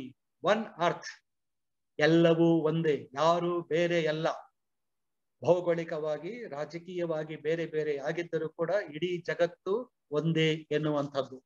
One earth one family G twenty ಉದ್ದೇಶ. ಹಿಂದಿರಿದು ಕೂಡ ನಮ್ಮ ಋಷಿಮುನಿಗಳು, ನಮ್ಮ ಸಂಸ್ಕೃತಿ, ನಮ್ಮ ಬೇರುಗಳು, ನಮ್ಮ ಭಾರತದಲ್ಲಿರುವಂತಹ ಆಧ್ಯಾತ್ಮಿಕತೆ ಎಲ್ಲವೂ ಹೇಳುವಂತಹದ್ದು ಏನಂತ ಹೇಳಿದ್ರೆ, ವಸುದೈವ ಕುಟುಂಬಕಂ. ವಸುದೈವ ಕುಟುಂಬಕಂ ಒನ್ ಫ್ಯಾಮಿಲಿ ನೋಡಿ, ಈಗ ಲಿಂಕ್ ಹೇಗ್ ಬಂತು ಅಂತ. ವಸುದೈವ ಕುಟುಂಬಕ ಎನ್ನುವಂತಹದ್ದು ನಮ್ಮ ಆಧ್ಯಾತ್ಮಿಕ ಚಿಂತನೆಯಲ್ಲಿ ಹಾಸುಹೊಕ್ಕಾಗಿರುವಂತಹ ಒಂದು ಅಂಶ. ನಮ್ಮ ಈ ಜಿ ಟ್ವೆಂಟಿಯ ಮೂರು ಮುಖ್ಯ ಉದ್ದೇಶಗಳಲ್ಲಿ ಒಂದನೆಯ ಉದ್ದೇಶ ಮುಂಚೆ ನಾನು ಹೇಳದಂತೆ ಒನ್ ಅರ್ತ್ ಎರಡನೆಯದು ಒನ್ ಫ್ಯಾಮಿಲಿ ಮೂರನೆಯದಾಗಿ ಒನ್ ಫ್ಯೂಚರ್ ಒಂದೇ ಭವಿಷ್ಯ. ಎಲ್ಲರಿಗೂ ಒಂದೇ ಭವಿಷ್ಯ ಎನ್ನುವಂಥದ್ದು. ಈ ಎಲ್ಲ ಅಂಶಗಳನ್ನು ಒಳಗೊಂಡಂತೆ ಈ ಭಾರತ ಈ ಒಂದು ಜಿ ಟ್ವೆಂಟಿ ಮೂಲಕವಾಗಿ ಇಡೀ ರಾಷ್ಟ್ರವನ್ನೇ ಏಕೆ ಇಡೀ ಜಗತ್ತನ್ನೇ ಮುನ್ನಡೆಯುವಂತ ಅವಕಾಶವನ್ನ ಇದು ಪಡ್ಕೊಂಡಿದೆ ಆ ಎನ್ನುವಂಥದ್ದು. ವಸುದೈವ ಕುಟುಂಬಕಂ ಎನ್ನುವಂಥದ್ದು ಕೂಡ ಇಲ್ಲಿ ನಮಗೆ ಗಮನಿಸಬೇಕು ಆ ಎನ್ನುವಂಥದ್ದು. ಸೊ ಹೀಗಾಗಿ ನಾವು ಇಲ್ಲಿ ಹೇಳುವಂತಹದ್ದು ಇಷ್ಟೇ. ಏನು ಅಂತ ಹೇಳಿದ್ರೆ, ಆ ಲೈಫ್ ಆನ್ ಎನ್ವೈರನ್ಮೆಂಟ್ ಈ ಮೂರು ಅಂಶಗಳಲ್ಲಿ one earth one family one future G ಟ್ವೆಂಟಿಯ ಭಾರತದ ಮೂಲಕವಾಗಿ ಕೊಟ್ಟಿರುವಂತಹ ಈ ಮೂರು ಕಾನ್ಸೆಪ್ಟ್ಗಳಲ್ಲಿ ಬಹಳ ಮುಖ್ಯವಾಗಿ ಏನಂತ ಹೇಳಿದ್ರೆ ಲೈಫ್ ಸ್ಟೈಲ್ ಎನ್ವೈರನ್ಮೆಂಟ್ ಪರಿಸರ ಎಲ್ಲವೂ ಕೂಡ ಅನುಕೂಲಕರವಾಗಿರಬೇಕು. ಪರಿಸರವನ್ನು ಉಳಿಸಬೇಕು, ಸಮಾಜವನ್ನು ಉಳಿಸಬೇಕು, ಆರ್ಥಿಕತೆಯನ್ನು ಉಳಿಸಬೇಕು ಎನ್ನುವಂತಹದ್ದು ಸೊ ಹೀಗಾಗಿ ಈ ಜಿ ಟ್ವೆಂಟಿಯ ಉದ್ದೇಶ ಏನು ಅಂತ ಹೇಳಿದ್ರೆ ಫ್ಯೂಚರಿಸ್ಟಿಕ್ ಭವಿಷ್ಯವನ್ನ ಸೇರಿದಂತೆ, ಒಳಗೊಂಡಂತೆ ಪ್ರಾಸ್ಪರಸ್ ಸಮೃದ್ಧಶಾಲಿ ಇನ್ಕ್ಲೂಸಿವ್ ಒಳಗೊಳ್ಳುವ ಯಾರನ್ನೂ ಬಿಡದೆ, ಎಲ್ಲರನ್ನೂ, ಎಲ್ಲ ರಾಷ್ಟ್ರವನ್ನು, ಎಲ್ಲ ವ್ಯಕ್ತಿಗಳನ್ನು, ಎಲ್ಲರನ್ನೂ ಒಳಗೊಳ್ಳುವ ಡೆವಲಪ್ಡ್ ಸೊಸೈಟಿ ಪ್ರಗತಿಶೀಲ ಸಮಾಜವನ್ನು ನಿರ್ಮಿಸುವಂಥದ್ದು. ಇದು ಹೇಗೆ ಸಾಧ್ಯ ಎನ್ನುವಂಥದ್ದು. ಕೇವಲ ಹಣದ ಮೂಲಕವಾಗಿ ಆಗಲಿ, ಕೇವಲ ಚರ್ಚೆಗಳ ಮೂಲಕವಾಗಿ ಆಗಲಿ ಸಾಧ್ಯವಿಲ್ಲ. ಅದಕ್ಕೆ ಒಂದು ಚೌಕಟ್ಟು ಬೇಕಾಗಿದೆ. ಅದಕ್ಕೆ ಒಂದು ಸಾಂಸ್ಕೃತಿಕ ಹಿನ್ನೆಲೆ ಬೇಕಾಗಿದೆ. ಅದಕ್ಕೆ ಎಲ್ಲರೊಂದಿಗೆ ಸೇರಿ ಬೆರೆಯುವ ಮತ್ತು ಅಭಿವೃದ್ಧಿ ಒಳಗೊಳ್ಳುವಂತಹ ಒಂದು ಮನಸ್ಥಿತಿ ಬೇಕಾಗಿದೆ. ಇದು ನಮ್ಮಲ್ಲಿ ಹಾಸು ಹೊಕ್ಕಾಗಿದೆ. ಭಾರತೀಯರ ರಕ್ತ ನಾಡಿಗಳಲ್ಲಿ ನರನಾಡಿಗಳಲ್ಲಿ ಚಿಂತನೆಯಲ್ಲಿ, ವಿಚಾರಗಳಲ್ಲಿ ಹೆರಿಡಿಟರಿಯಿಂದಾಗಿ ಬಂದಿರುವಂತಹದ್ದು ಇದು ಯಾವುದು ಅಂತ ಹೇಳಿದ್ರೆ ಆಧ್ಯಾತ್ಮಿಕವಾದಂತಹ ಚಿಂತನೆ ಮತ್ತು ಎಲ್ಲರನ್ನು ಸೇರಿಸಿಕೊಂಡು ಬೆಳವಣಿಗೆ ಆಗುವಂತಹದ್ದು ಹೀಗಾಗಿ ಬಹಳ ಮುಖ್ಯವಾಗಿ ನಾವು ಈ ಒಂದು ಜಿ ಟ್ವೆಂಟಿಯ ಮೂಲಕವಾಗಿ ಇಡೀ ಜಗತ್ತಿನ ಮತ್ತು ಭಾರತದ ಆರ್ಥಿಕ ಅಭಿವೃದ್ಧಿ, ಜೊತೆಯಲ್ಲಿಯೇ ಈ ಅಭಿವೃದ್ಧಿಯ ಹಿನ್ನೆಲೆಯಲ್ಲಿ ಇರುವಂತಹದ್ದು ಆಧ್ಯಾತ್ಮಿಕ ವಿಚಾರಗಳು ಎನ್ನುವುದನ್ನು ಕೂಡ ನಾವಿಲ್ಲಿ ಗಮನಿಸಬೇಕು ಎನ್ನುವಂಥದ್ದು. ಆಧ್ಯಾತ್ಮಿಕತೆಗೆ ಬಂದಾಗ ನಮ್ಮಲ್ಲಿ ಆಧ್ಯಾತ್ಮಿಕ ಗುರುಗಳಿಗೆ ಏನು ಕೊರತೆ ಇಲ್ಲ. ನಾನು ನಿಮಗೆ ಬೇಕಾದ್ರೆ ಸಾವಿರಾರು ಉದಾಹರಣೆಗಳನ್ನು ಇಲ್ಲಿ ಕೊಡಬಲ್ಲೆ. ಶಾಂತನು ನಾರಾಯಣ್ ಅವರಾಗಿರಬಹುದು ಮತ್ತೆ ಬೇರೆ ವ್ಯಕ್ತಿಗಳಾಗಿರಬಹುದು. ಮತ್ತೆ ಪ್ರಗತಿ ಪರವಾಗಿ ನೋಡಿದಾಗ ಸುಂದರ್ ಪಿಚ್ಚೈ ಭಾರತವನ್ನ ಲೀಡ್ ಮಾಡ, ಭಾರತಕ್ಕೆ, ಭಾರತದ ಮೂಲಕವಾಗಿ ಜಗತ್ತನ್ನ ಲೀಡ್ ಮಾಡಿದವರು. ರಾಜೀವ್ ಸೂರಿ, ಸತ್ಯನಾರಾಯಣ ನಂದೆಲ್ಲ ಪುನೀತ್ ರಂಜನ್, ವಸಂತ ವಾಸ ನರಸಿಂಹನ್ ರವರು ಅಜಯ್ ಪಾಲ್ ಇವರೆಲ್ಲರೂ ಕೂಡ ಈಗಿನ ನಾವು ಕಾಣುವಂತಹ ಈ ಇನ್ಫಾರ್ಮೇಶನ್ ಟೆಕ್ನಾಲಜಿಯಲ್ಲಿ ಇಡೀ ಜಗತ್ತನ್ನೇ ಮುನ್ನಡೆಸುತ್ತಿರುವಂತಹ ಭಾರತೀಯ ವ್ಯಕ್ತಿಗಳು. ನೀರಜ್ ಎನ್ ಶಾ, ಸಂಜಯ್ ಮೆಹರೋತ್ರಾ, ಜಾರ್ಜ್ ಕುರಿಯನ್, ನಿಕೇಶ್ ಅರೋರಾ ಬೇಕಾದಷ್ಟು ಜನ ಇಲ್ಲಿದ್ದಾರೆ ನಮ್ಮಲ್ಲಿ. ಸೊ ಹೀಗಾಗಿ ನಾವು ಗಮನಿಸುವಂತಹದ್ದು ಏನಂತ ಹೇಳಿದ್ರೆ, Arvind Krishna I B M chairman Sandeep Mathrani WeWork ಗ್ರೂಪಿನ ಮುಖ್ಯಸ್ಥರು, ಮತ್ತೆ ರೇವತಿ ಅದ್ವೈತಿ ಫ್ಲೆಕ್ಸ್ ಗ್ರೂಪಿನ ಮುಖ್ಯಸ್ಥರು ಅಮರ್ ಬೋಸ್ ಬೋಸ್ ಕಾರ್ಪೊರೇಷನ್ ಮುಖ್ಯಸ್ಥರು ಗೋಪಿಚಂದ್ ಹಿಂದೂಜಾ ಹಿಂದೂಜಾ ಗ್ರೂಪ್ನವರು. ಹೀಗೆ ಜಗತ್ತಿನ ಪ್ರಗತಿಪರ ಬೆಳವಣಿಗೆಯ ಮುಂಚೂಣಿಯಲ್ಲಿರುವ ಸಂಸ್ಥೆಗಳನ್ನ ಮುನ್ನಡೆಸುತ್ತಿರುವಂತವರು ಭಾರತೀಯ ಚಿಂತನೆ ಇರುವ ಭಾರತದ ಮೂಲದ ವ್ಯಕ್ತಿಗಳು ಈಗಿನವರು. ಅದಕ್ಕೆ ಕಾರಣ ಏನು ಎಂದರೆ ನಮ್ಮ ಹಿಂದಿನ ಭಾರತೀಯ ಪಾರಂಪರಿಕ ಚಿಂತನೆ ಎನ್ನುವಂಥದ್ದು. ಭಕ್ತಿ ವೇದಾಂತ ಸ್ವಾಮಿ ಪ್ರಭುಪಾದರಾಗಲಿ ಆದಿ ಶಂಕರಾಚಾರ್ಯರಾಗಲಿ ಅದ್ವೈತ ಆಚಾರ್ಯರಾಗಲಿ, ಅಗಸ್ತ್ಯರವರಾಗಲಿ, ಅಕ್ಕ ಮಹಾದೇವಿ ಆಲ್ವಾರ್ ಸೈನ್ಸ್ ಮತ್ತೆ ಆನಂದಮಯಿ ಮಾತೆ ಆಗಿರಲಿ ಮತ್ತು ಅಂಡಾಲ್ ಅಮ್ಮನವರಾಗಿರಲಿ, ಅಯ್ಯವರ್ ಆಗಿರಲಿ, ಅತ್ರಿಯವರಾಗಿರಲಿ, ಬಾಬಾ ಹರಿದಾಸ್ ಎಷ್ಟು ಜನರ ಉದಾಹರಣೆಗಳು ನಮಗೆ ಬೇಕು? ನಮ್ಮ ಆಧ್ಯಾತ್ಮಿಕ ಚಿಂತನೆಯನ್ನು ರೂಪುಗೊಳಿಸಿರುವಂತಹವರು ನಮ್ಮ ಇಂದಿನ ವಿಚಾರಗಳು, ನಮ್ಮ ಭಾರತದ ಈಗಿನ ಪ್ರಗತಿ, ಇದು ಕೇವಲ ಇವತ್ತಿನ ನಿನ್ನೆಯ ಅಥವಾ ಯಾವುದೇ ರಾಜಕೀಯ ಬೆಳವಣಿಗೆಯ ಪ್ರಗತಿ ಅಲ್ಲ. ಇದು ನಮ್ಮ ಎಲ್ಲರಲ್ಲೂ ಕೂಡ ಒಳಗೊಂಡಿರುವಂತಹ ಮೂಲ ಬೇರುಗಳಲ್ಲಿ ಇರುವಂತಹ ಈ ಒಂದು ಆಧ್ಯಾತ್ಮಿಕ ವಿಚಾರಗಳನ್ನ ಒಳಗೊಂಡಂತದ್ದು ಬಹಳ ಮುಖ್ಯವಾಗಿ ಬಸವಣ್ಣನವರ ಚಿಂತನೆಗಳು. ಅದೇ ರೀತಿಯಲ್ಲಿ ಬೇಕಾದಷ್ಟು ಉದಾಹರಣೆಗಳನ್ನ ನಾನು ಕೊಡ್ಬೋದು. ಭಕ್ತಿ ಚಾರು ಸ್ವಾಮೀಜಿಯವರ ಚಿಂತನೆಗಳು ಆ ಬ್ರಹ್ಮ ಚೈತನ್ಯರವರ ಚಿಂತನೆಗಳು, ಆ ಬ್ರಹ್ಮಾನಂದ ಸ್ವಾಮಿಗಳ ವಿಚಾರಗಳು, ಬ್ರಹ್ಮಾನಂದ ಸರಸ್ವತಿಯವರ ವಿಚಾರಗಳು, ಎಷ್ಟು ಉದಾಹರಣೆಗಳನ್ನು ನಾನು ಕೊಡ್ಲಿ ನಿಮಗೆ? ಯಾತಕ್ಕೆ ಅಂತ ಹೇಳಿದ್ರೆ ಆರ್ಥಿಕ ಪ್ರಗತಿ ಹೇಗೆ ಎನ್ನುವುದಕ್ಕೆ. ಇಲ್ಲಿ ಇನ್ನೊಂದು ಅಂಶವನ್ನು ಕೂಡ ನಾವೇ ಗಮನಿಸಬೇಕು. ಏನಂತ ಹೇಳಿದ್ರೆ ಜ್ಞಾನಾನಂದ ಗಿರಿಯವರಾಗಿರಲಿ, ಜಗ್ಗಿ ವಾಸುದೇವ ಆಗಿರಲಿ, ನಿಮಗೆಲ್ಲ ಆಧುನಿಕವಾದಂತಹ ವಿಚಾರಗಳನ್ನ ಕೊಟ್ಟಿರುವಂತಹ ನಾರಾಯಣ್ ಮಹಾರಾಜವರಾಗಿರಲಿ ಬೇಕಾದಷ್ಟು ವ್ಯಕ್ತಿಗಳು ನಮ್ಮ ಉದಾಹರಣೆಗೆ ಆಧ್ಯಾತ್ಮಿಕವಾಗಿ ನಮಗೆ ಅವರ ಕಾಣಿಕೆಯನ್ನು ಕೊಟ್ಟಿರೋದನ್ನ ನಾವಿಲ್ಲಿ ಕಾಣ್ತಾ ಇದ್ದೇವೆ ಎನ್ನುವಂಥದ್ದು. ಸೊ ಹೀಗಿರುವಾಗ ಈ ಆಧ್ಯಾತ್ಮಿಕ ಹಿನ್ನೆಲೆಯಲ್ಲಿ ಬೆಳೆದು ಬಂದಂತಹ ಭಾರತ ಈ ಒಂದು ಜಿ ಇಪ್ಪತ್ತು ರಾಷ್ಟ್ರಗಳ ಒಂದು ಮುಂಚೂಣಿಯಲ್ಲಿದ್ದು ನಮ್ಮ ನಿಮ್ಮೆಲ್ಲರನ್ನು ಪ್ರತಿನಿಧಿಸುವಂತಹ ರಾಜಕೀಯ ವ್ಯಕ್ತಿಗಳು, ನಮ್ಮವರೇ ವ್ಯಕ್ತಿಗಳು. ನಾವು ಒಂದೇ, ಅವರು ಒಂದೇ. ಆ ಮೂಲಕವಾಗಿ ಭಾರತವನ್ನ ಮುನ್ನಡೆಸುವಂತಹ ಒಂದು ಜವಾಬ್ದಾರಿಯನ್ನು ನಾವಿಲ್ಲಿ ಹೊತ್ಕೊಂಡಿದ್ದೇವೆ ಎನ್ನುವಂತಹದ್ದು ಹೀಗಾಗಿ ನಾವು ಗಮನಿಸುವಂತಹದ್ದು ಏನಂತ ಹೇಳಿದ್ರೆ ಇಲ್ಲಿ ಭಾರತೀಯ ಪರಂಪರೆಯಲ್ಲಿ ಸತ್, ಚಿತ್, ಆನಂದ. ಆನಂದ ಎನ್ನುವಂಥದ್ದು ನೀವು ಚೆನ್ನಾಗಿರ್ಬೇಕು, ನಾವು ಚೆನ್ನಾಗಿರ್ಬೇಕು. ನೀವು ಬೇರೆ ಅಲ್ಲ, ನಾವು ಬೇರೆ ಅಲ್ಲ. ಪ್ರಕೃತಿ ಬೇರೆ ಅಲ್ಲ, ನಾವು ಬೇರೆ ಅಲ್ಲ. ನಾವು ಪ್ರಕೃತಿ ಎರಡೂ ಒಂದೇ. ಪ್ರಕೃತಿ ಎರಡೂ ಒಂದೇ ಆದಾಗ ಆನಂದ ಅಥವಾ ಸಂತೋಷ ಇರುವುದು ಸಿಗುತ್ತದೆ. ಇದರ ಉದ್ದೇಶ ನಾನು ಮುಂಚೆ ಹೇಳಿದಂತೆ ಜಿ ಟ್ವೆಂಟಿಯ ಉದ್ದೇಶವೂ ಇದೆ. ನಮ್ಮಲ್ಲಿರುವಂತಹ ಹಿಂದೆ ಹೇಳಿದಂತಹ ಸತ್ಯ ಆನಂದದ ವಿಚಾರವೂ ಒಂದೇ. ಭಾರತದ ಧಾರ್ಮಿಕ ವಿಚಾರಗಳು, ಉಪನಿಷತ್ತುಗಳು ಎಲ್ಲವೂ ಕೂಡ ಹಿಡಿದಂತಹ ವಿಚಾರಗಳು ಕೂಡ ಒಂದೇ. ಹೀಗಾಗಿ ನಾನು ಹೇಳುವಂತಹದ್ದು ಇಷ್ಟೇ. ಏನು ಅಂತ ಹೇಳಿದ್ರೆ, ಇಲ್ಲಿ ಯಾವುದೇ ರೀತಿಯಂತಹ ವ್ಯತ್ಯಾಸ ಇಲ್ಲ. ಭಾರತದ ಮೂಲದ ಚಿಂತನೆಗಳು ಮತ್ತು ಜಿ ಟ್ವೆಂಟಿಯ ಉದ್ದೇಶಗಳು ಮತ್ತು ಭಾರತದ ಆಧ್ಯಾತ್ಮಿಕ ವಿಚಾರಗಳು ಎಲ್ಲವನ್ನೂ ಕೂಡ ಒಳಗೊಂಡಂತೆ ನಡೆಯುತ್ತಿರುವಂತಹ ಅಭಿವೃದ್ಧಿಯ ಚಿಂತನೆಗಳು. ಮಾನ್ಯರೇ, ತಮ್ಮೆಲ್ಲರ ವಿಚಾರಗಳು ಬರುತ್ತಿರಬಹುದು. ಈಗ ನಡೆಯುತ್ತಿರುವಂತಹ ನೆಗೆಟಿವ್ ವಿಚಾರಗಳನ್ನು ಬಿಟ್ಟು ಪಾಸಿಟಿವ್ ವಿಚಾರಗಳನ್ನು ಮಾತ್ರ ಹೇಳ್ತಾ ಇದ್ದೀರಲ್ಲ ಅಂತ ನಾವು ಗಮನಿಸಬೇಕು ಏನಂದ್ರೆ always we should think positively negativity will automatically go ಹಾಗಾಗಿ ಬಹಳ ಮುಖ್ಯವಾಗಿ ನಾವಿಲ್ಲಿ ಗಮನಿಸಿದ್ದೇವೆ. ಏನಂತ ಹೇಳಿದ್ರೆ, ನಮ್ಮ ದಾಜಿಯವರು ಬಹಳ ಮುಖ್ಯವಾಗಿ ನಾವು ಗಮನಿಸುವಂತಹ ಒಂದು ಯೋಗ ತತ್ವ ಮತ್ತು ನಮ್ಮಲ್ಲಿರುವಂತಹ ಧ್ಯಾನ ಅವುಗಳ ಮೂಲಕವಾಗಿ ಹೇಗೆ ಔನ್ನತ್ಯವನ್ನ ನಾವು ಸಾಧನೆ ಮಾಡಬಹುದು ಎನ್ನುವಂತಹದ್ದು ಭಾರತದ ಪಾರಂಪರಿಕ ಹಿನ್ನೆಲೆಯಲ್ಲಿ ನಮ್ಮಲ್ಲಿ ಇರುವಂತಹ ಈ ಹಿನ್ನೆಲೆಯ ಒಂದು ಸಂಸ್ಕೃತಿಯನ್ನ ಮತ್ತು ನಮ್ಮ ವಿಚಾರಗಳನ್ನ ಬೆಳವಣಿಗೆಯನ್ನ ಮಾಡಿಕೊಳ್ಳಬೇಕಾದ್ರೆ ಮಾನಸಿಕ ಸ್ಥಿಮಿತತೆ ಬೇಕು. ಮಾನಸಿಕ ಸ್ಥಿಮಿತತೆಗೆ ಧ್ಯಾನ ಬೇಕು. ಧ್ಯಾನ ನಿಮಗೆ ಸಿಗಬೇಕಾದರೆ ಅದರ ಮೂಲಕವಾಗಿ ಹೇಗೆ ನೀವು ಔನ್ನತ್ಯವನ್ನ ಪಡೆಯಬಹುದು ಎನ್ನುವಂಥದ್ದು. ನೀವು ನಿಮ್ಮನ್ನ ದೇವರೊಂದಿಗೆ ಹೇಗೆ ಒಳಗೊಳ್ಳಿಸಬಹುದು. ನೀವು ನಿಮ್ಮನ್ನ ಯಾವ ರೀತಿ ಪ್ರಕೃತಿಯೊಂದಿಗೆ ಒಳಗೊಳ್ಳಿಸಬಹುದು? ಪ್ರಕೃತಿ ಮತ್ತು ನೀವು ಎರಡು ಒಂದೇ ಎನ್ನುವುದನ್ನ ಹೇಗೆ ತೋರಿಸಬಹುದು ಎನ್ನುವುದಕ್ಕೆ ಬಹಳ ಮುಖ್ಯವಾಗಿ ನಮಗೆ ಇಲ್ಲಿ ಬೇಕಾಗಿರುವಂತಹದ್ದು ಏನು ಅಂತ ಹೇಳಿದ್ರೆ ಇಲ್ಲಿ ಧ್ಯಾನ ಎನ್ನುವಂಥದ್ದು. ದಾಜಿಯವರು ಇದನ್ನ ಬಹಳ ತುಂಬಾ ಮಾರ್ಮಿಕವಾಗಿ ನಮಗೆ ಅದನ್ನ ಬಹಳ ಸುಲಭವಾಗಿ ಅದನ್ನ ಅವ್ರು ಹೇಳಿದ್ದಾರೆ. ಏನಂತ ಹೇಳಿದ್ರೆ ಮನಸ್ಸಿನ ನಿಯಂತ್ರಣ ಬಹಳ ಮುಖ್ಯ. ನಮ್ಮ ಮೈಂಡ್ ಇದೆಯಲ್ಲ, ಅದರ ನಿಯಂತ್ರಣ ಮುಖ್ಯ. ಒಳ್ಳೆಯ ಗುಣಗಳು, ಕೆಟ್ಟ ಗುಣಗಳು ಎಲ್ಲವೂ ಕೂಡ ಈ ಮೈಂಡ್ ಇಂದನ ಬರುತ್ತೆ. ಈ ಮೈಂಡ್ ಬಹಳ ಶಾಂತ ರೂಪದಲ್ಲಿ ಇರಬೇಕಾದ್ರೆ ಧ್ಯಾನವನ್ನ ಮಾಡಬೇಕು. ಆ ಧ್ಯಾನದ ಮೂಲಕವಾಗಿ ನಾವು ಹೇಗೆ ಔನ್ನತ್ಯವನ್ನ ಸಾಧಿಸಬಹುದು ಎನ್ನುವಂಥದ್ದು. ಸೊ ಹೀಗಾಗಿ ಬಹಳ ಮುಖ್ಯವಾಗಿ ನಾವು ಗಮನಿಸಬೇಕಾಗಿರುವಂತದ್ದು ಏನಂತ ಹೇಳಿದ್ರೆ, ಭಾರತ ವಿಶ್ವಗುರುವಾಗಿ ಭಾರತಕ್ಕೆ ಇರುವಂತಹ ಮೂಲ ಬೇರುಗಳನ್ನ, ಎಲ್ಲ ವಿಚಾರಗಳನ್ನ ಜಗತ್ತಿಗೆ ಕೊಟ್ಟಿದೆ ಎನ್ನುವಂಥದ್ದು. ಆ ಮೂಲಕವಾಗಿ ಹೇಗೆ ನಾವು ಪುನಃ ವಿಶ್ವಗುರು ಆಗುವುದಕ್ಕೆ ಸಾಧ್ಯ? ನೋಡಿ, ಬುದ್ಧಿಸಂ ಆಗ್ಲಿ ಜರಸ್ಟ್ರನಿಸಂ ಆಗ್ಲಿ, ಹಲವಾರು ರೀತಿಯಾದಂತಹ ವಿಚಾರಗಳು, ಪಂಥಗಳು ಭಾರತದಲ್ಲಿ ಹುಟ್ಟಿದಂತವು ಅತ್ಯುತ್ತಮವಾದಂತಹ ವಿಚಾರಗಳನ್ನು ಕೊಟ್ಟಂತ ಬುದ್ಧಿಸಂ ಹೇಳುತ್ತೆ ಏನಂದ್ರೆ right understanding right thought right speech right action right livelihood right effort right mindfulness right concentration ಇವೆಲ್ಲವೂ ಎಂಟು ಪಥಗಳು ಇದ್ದಾಗ ಪ್ರಗತಿ ತನಗೆ ತಾನಾಗೆ ಬರುತ್ತದೆ. ಇವುಗಳು ಬರಬೇಕಾದರೆ ನಿಮಗೆ ಆಧ್ಯಾತ್ಮಿಕತೆ ಬೇಕು. ಆಧ್ಯಾತ್ಮಿಕತೆಯಿಂದ ಮೋಕ್ಷ ಸಿಗುತ್ತದೆ, ಸಾಕ್ಷಾತ್ಕಾರವಾಗುತ್ತದೆ. ಯಾವುದು ಸಾಕ್ಷಾತ್ಕಾರ?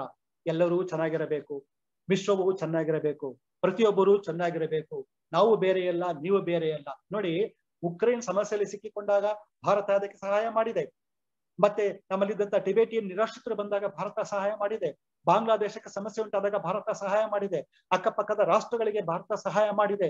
ಸೊ ಜಗತ್ತಿನ ರಾಷ್ಟ್ರಗಳಿಗೆ ಭಾರತ ಔಷಧಿಗಳನ್ನು ಹಂಚಿದೆ, ಬೇಕಾಗುವಂತ ಮಂತ್ರಗಳನ್ನ ನೀಡಿದೆ, ಬೇಕಾಗುವಂತ ವಿಷಯಗಳನ್ನ ಕೊಟ್ಟಿದೆ. ಸೊ ಹೀಗಿರುವಾಗ ಭಾರತ ನಿಜವಾಗಿಯೂ ಕೂಡ ವಿಶ್ವಗುರು ಆಗುವುದರಲ್ಲಿ ಸಂದೇಹವೇ ಇಲ್ಲ ಎನ್ನುವಂತಹದ್ದು ಮಾಂದರೆ ಈ ಎಲ್ಲ ವಿಚಾರಗಳ ಹಿನ್ನೆಲೆಯಲ್ಲಿ ನಾನು ನಿಮ್ಮಲ್ಲಿ ಪುನಃ ಹೇಳುವುದಿಷ್ಟೇ. ಏನು ಅಂತ ಹೇಳಿದ್ರೆ ಜಿ ಟ್ವೆಂಟಿ ಎನ್ನುವಂತಹ ಈ ಗುಂಪಿನ ನಾಯಕತ್ವವನ್ನ ಭಾರತ ಹೊಂದಿದ್ದು, ಇದರ ಹಿನ್ನೆಲೆಯಲ್ಲಿ ನಿಮ್ಮ ಮುಂದೆ ನಾನು, ಹೌದು, ಭಾರತ ಪ್ರಗತಿ ವೇಗವಾಗಿ ಪ್ರಗತಿ ಹೊಂದುತ್ತಿರುವಂತಹ ರಾಷ್ಟ್ರ, ಜೊತೆಯಲ್ಲಿಯೇ ಇದು ಆಧ್ಯಾತ್ಮಿಕ ಗುರುವು ಆಗುವುದಕ್ಕೆ ಸಾಧ್ಯ ಎನ್ನುವಂಥದ್ದು.